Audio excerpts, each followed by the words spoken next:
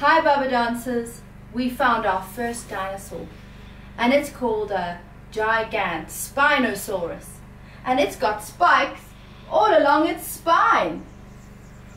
We're going to be doing some nice stretches for our back.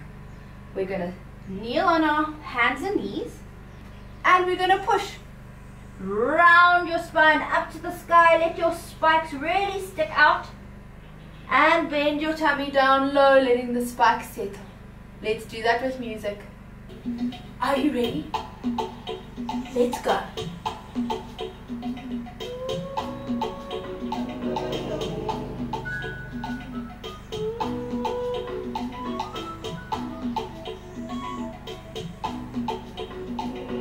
Two more.